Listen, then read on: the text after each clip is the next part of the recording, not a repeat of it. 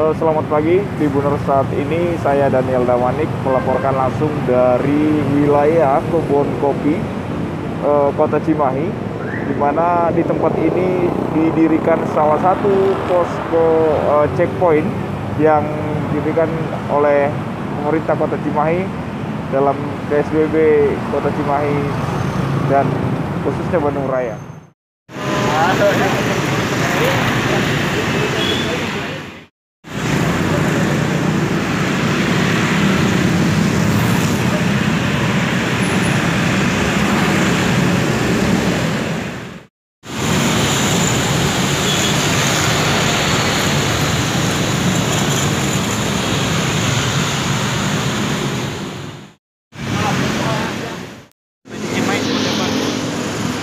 Ya, hari ini mulai diberlakukan PSBB di wilayah Kota Cimahi.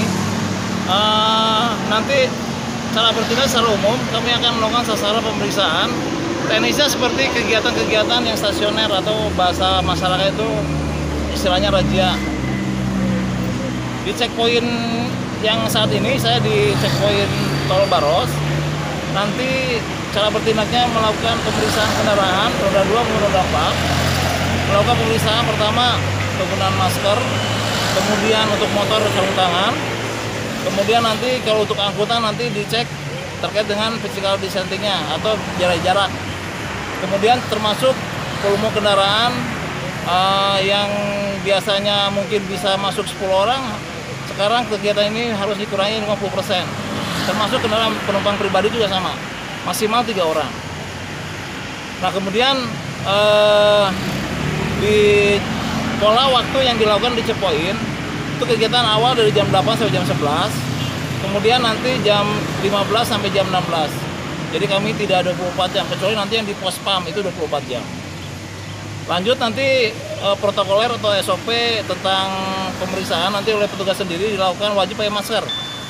Pakai masker sarung tangan kemudian kacamata ya juga kacamata e, kemudian jaga jarak juga ya seperti itu.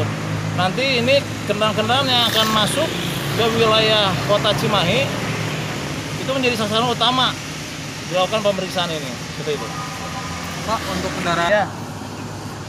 Untuk kegiatan PSBB ini tidak ada eh, apa eh, penyekatan atau penutupan ya. Tapi terkait dengan awalnya pelanggaran untuk hari tiga hari pertama ini kita sifatnya hanya himbauan dulu Nah, apabila nanti ada ditemukan itu akan disuruh pulang, nggak boleh masuk.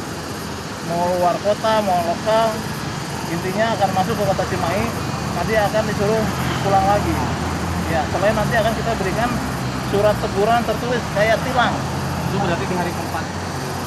Hari keempat nanti akan kita lakukan itu.